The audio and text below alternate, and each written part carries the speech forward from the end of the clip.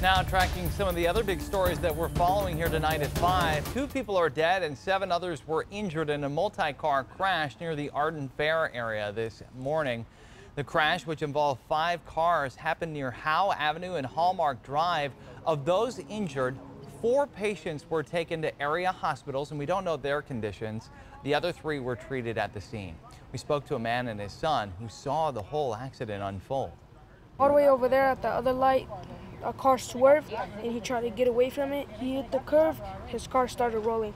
And I saw the guy getting out of the windshield with his hand bleeding. And then my dad, like, pried the windshield out so he can, the guy could get out. California highway officers are now investigating. No word on what caused the accident or if alcohol or drugs are to blame.